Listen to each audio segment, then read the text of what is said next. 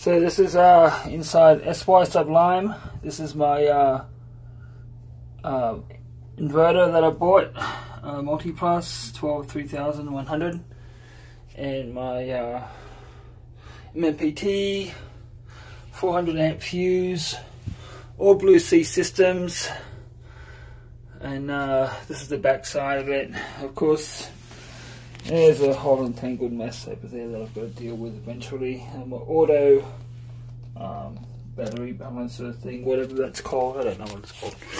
But anyway, it's a project. But today's project is we're going to put in a voltage meter thing, smart solar pluggable display, which I'll put out just one-handed. So we're gonna put this in here like that. So and I'm gonna have to do all this one-handed, so it's gonna be kind of tough and slow, but I don't care. Um, so we're gonna pull, get some tape. And I'm gonna pull out two little plugs out of here I don't want to scratch the finish on my thing. So I'm going to pull out a plug here.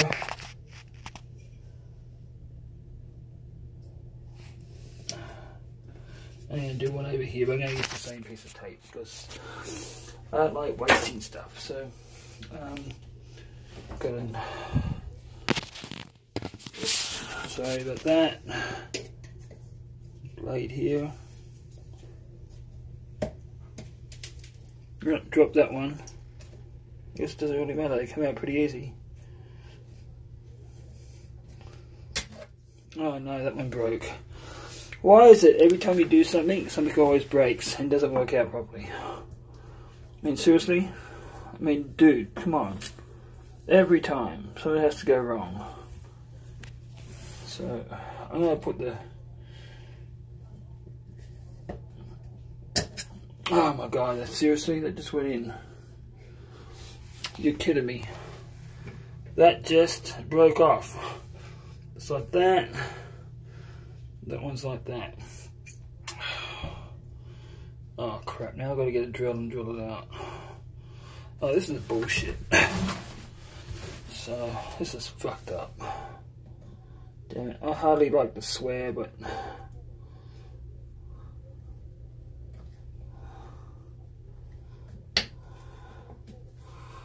Damn it.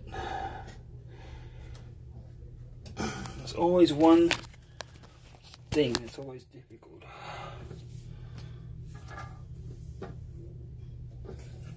It's always one that has to be difficult.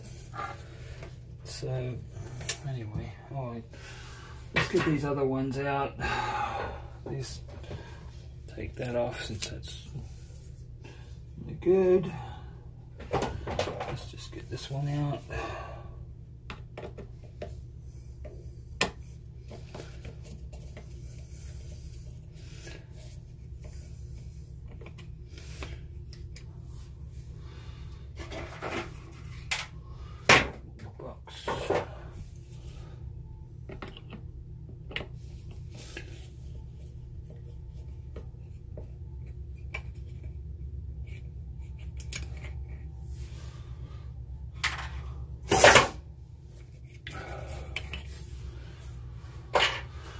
So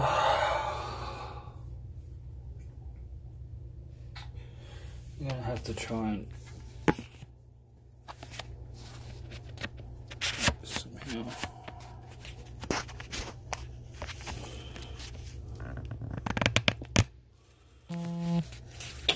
damn it. Okay, so I don't know how to get that out without drilling it. So this is going to go in here like that, like that, and that's it. So try to fit that. That's my screw. So it's got some 3M um, tape in the back.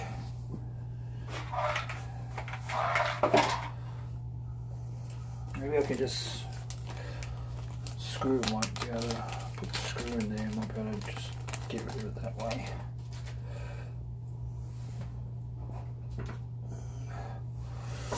See if this screw will go in here and just try and get rid of it.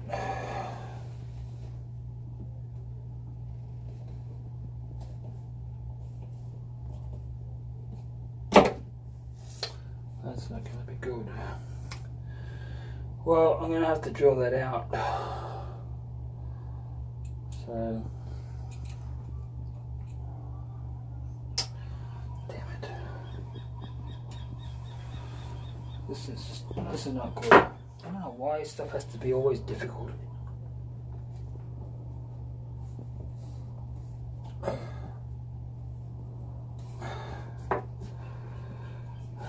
really going the way through, that's a problem.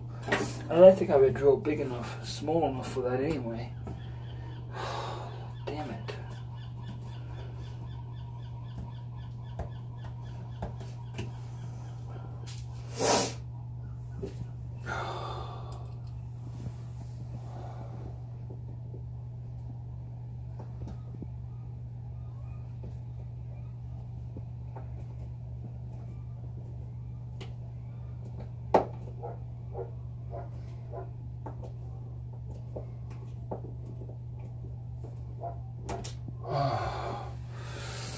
Well, I'm gonna have to get the thing done. Um, so it won't go in. So I'm gonna have to get the drill, stop this video for now, and uh, post another video um, once I get this drilled out because I can't do it one-handed. This is just ridiculous. Why would they have to do that? So, alright, I'm going to get back to, let's see if I can get this done.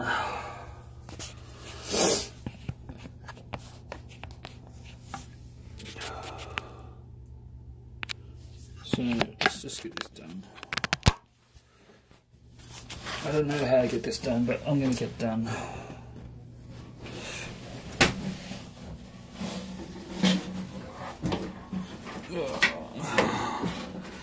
You know what, in the meantime, we can hook up,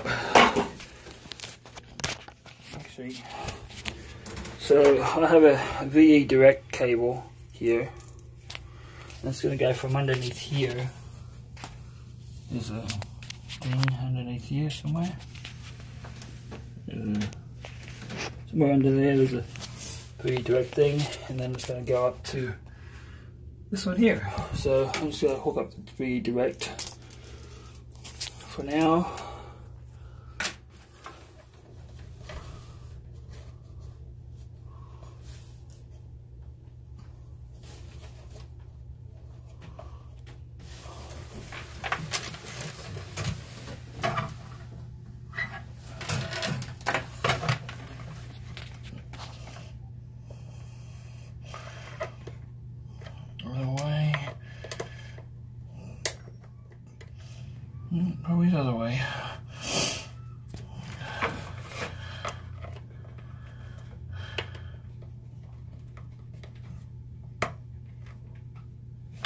Well, that's that. And then this is going to go up here. Sorry about the angles flipping around, but it's going to have to come up this way. Man, I wish I had some decent camera gear. Decent camera gear would be awesome. Up here. I don't have to hang on to stuff. Oh, what's up in there?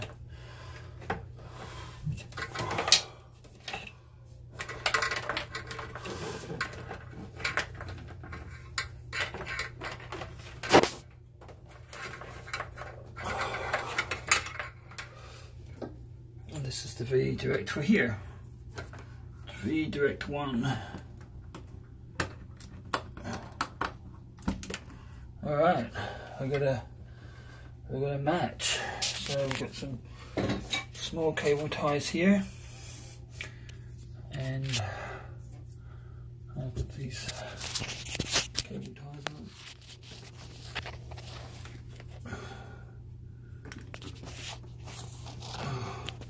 Everybody knows how to put a cable tie on, I think. Just swing it like this. I think it's in focus or in frame, I have no idea. Okay. Okay. That is that. And then I'll put another one here. It's gonna stay in there somehow like that.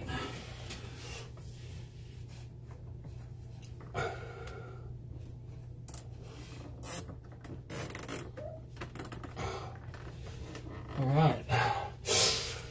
And another one over here. I think this goes here. Oh, not this one here.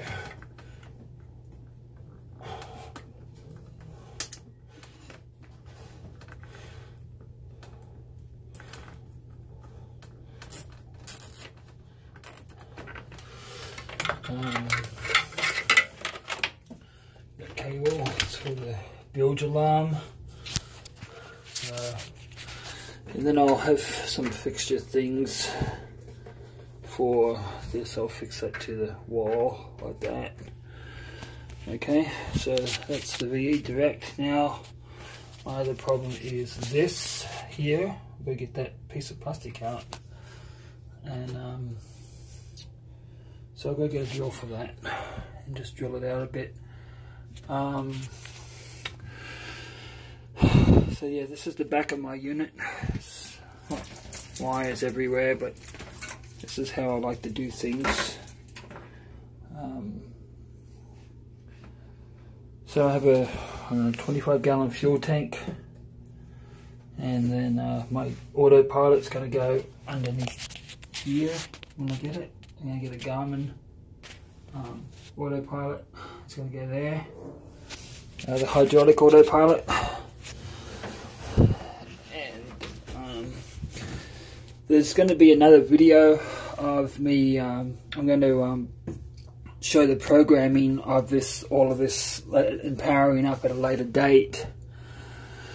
Uh, I have a friend of mine that's going to come over and help me with the AC 120 selector switch because I got the AC from Shore Power, the generate the uh, inverter, and then I've got the um, the generator as well that I'm going to be hooking up off this. So, and I don't know which wires go which really. So I'm a little bit uh, not comfortable with that at the moment. So yeah, that's what I'm doing with that.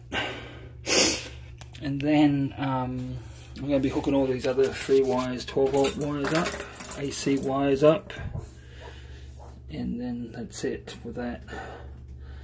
And I got to get a wrap for this, um, a thermal titanium wrap for this, and um, hook everything up.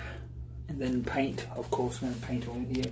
I put another light, I got a light here, and I'm to put another light, paint underneath here, and put another light in here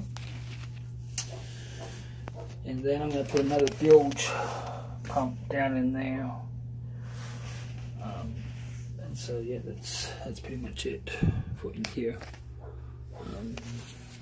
This is my um, Excel uh, on-demand water heater don't know if you can see because of the sun but this is my Excel on-demand water heater it's really good it's a propane water heater and it comes the water comes out really really hot so I got it on eBay. And it's a real good deal. I think it's like $220 or something. Uh, but it's ventless and it's also, um, it's, uh, well, I just said it's on demand and it's ventless. So I don't have to rent it out. I do have vents here just in case. I'm to have to redo something with those too. And fix those up as well. So, yeah, my steering system is all hydraulic um, had the hydraulic ram rebuilt and um, it's all hydraulic steering system which I like better than cable. Uh, there's a full chain drive underneath. So that chain goes all the way up to the helm. Normally it's a piece of chain with a bit of cable in between. And I kind of really didn't like that. So I had a full chain made all the way up that goes all the way up to the top of the helm. And then it was just more sturdier. That's a little bit noisy when you turn but you know at least you know you're turning if it's moving so. And when I get the uh, Garmin hydraulic um, autopilot um, that's going to be great for big big weather like strong currents and tides and etc just they're pretty much indestructible. They're better than the electric ones. Um, they're stronger and uh, they're about four thousand dollars for the Garmin hydraulic um, hydraulic autopilot. So yeah then I got my I put installed a pump valve here so I can bleed my system which is actually okay which is not connected right now because I had to just look at some broken hoses. So um,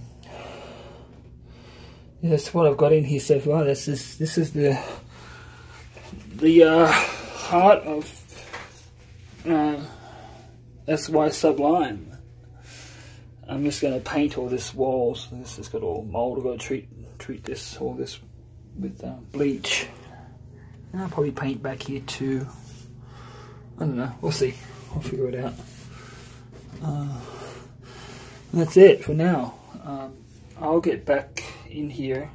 Going to release another video today of I won't be drilling this out with the camera on but I will get it out somehow and um, I'll get this out and then I'll uh, make a video on actually installing the uh, the smart controller that I have here. It's got some 3M stuff on it too, sticking it, and then it will go on there like that. Once I get the hole cleared out. I probably don't really need it, but I like gadgets and I like things to be complete. So, know. I um, just did that. I do have to get some plywood like I did here and I'm gonna have to mount this off the wall a little bit so it's it's got more airflow behind it because I really don't I don't know how hot these are gonna get but uh, I don't want these touching the the paint because I did have a fire on here in February um, I employed somebody that I was thought I was that said they knew what they were doing and I was helping them out because they needed some work and they started a fire with the AC panel and uh, everything in here was burnt. There wasn't much fire damage but because I couldn't get in here with the fire extinguisher to um, put it out um, I did more damage with the fire extinguisher than the fire did so yeah, because I didn't know what the amount of damage. There's a lot of heat, a lot of smoke in here, and I couldn't see. And so I did more damage with my fire extinguisher than I did with than the fire did. So that's something to remember uh, when you're uh, when you use a fire extinguisher. Uh, I am going to get one of those um, automatic fire extinguishers for the engine bay. I'm going to mount it up here. It's got its own I fire detector thing on it or whatever and it'll go off if there's a fire in here. So I will get one of those eventually. But yeah, it's a lot better than what it was. So, alright. I will uh, end this video now and I'm going to get the um, I'm to come back in and do take the thing out and install that. Happy New Year.